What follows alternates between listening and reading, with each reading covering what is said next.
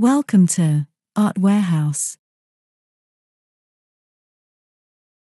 I wanted to shock and amaze. Today's artist is Lucian Freud. Lucian Michael Freud was a British painter and draftsman, specializing in figurative art, and is known as one of the foremost 20th century English portraitists. He was born in Berlin on the 8th of December, 1922, the son of Jewish architect Ernst L. Freud and the grandson of Sigmund Freud. Freud got his first name Lucian from his mother in memory of the ancient writer Lucian of Samosata. His family moved to England in 1933, when he was 10 years old, to escape the rise of Nazism. He became a British naturalized citizen in 1939. From 1942 to 1943, he attended Goldsmiths College, London.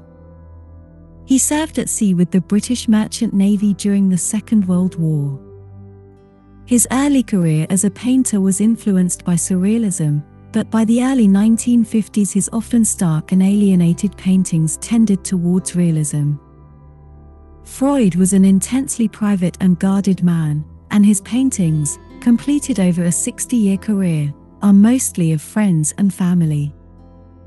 They are generally somber and thickly impastoed, often set in unsettling interiors and urban landscapes.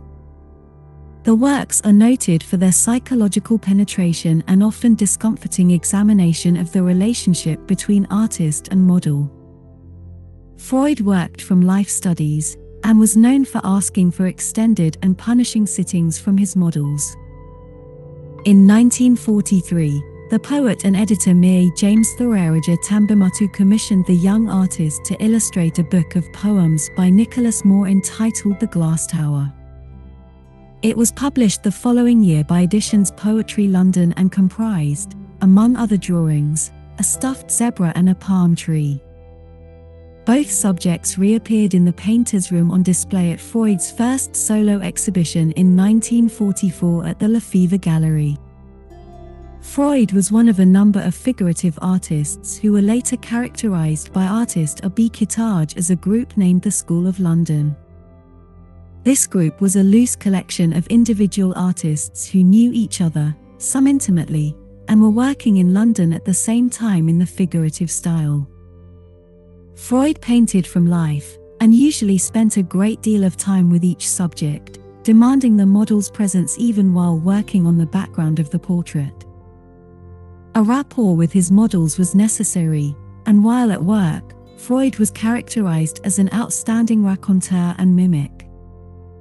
Regarding the difficulty in deciding when a painting is completed, Freud said that he feels he's finished when he gets the impression he's working on somebody else's painting.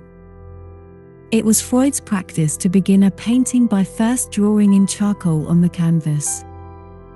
He then applied paint to a small area of the canvas and gradually worked outward from that point. Freud died in London on the 20th of July, 2011 and is buried in Highgate Cemetery. Archbishop Rowan Williams officiated at the private funeral.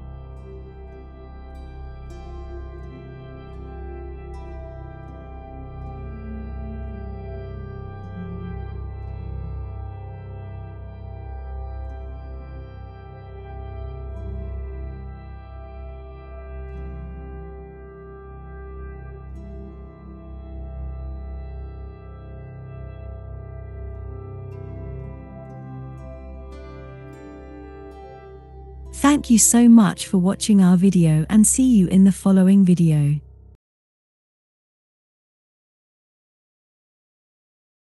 Please like and subscribe.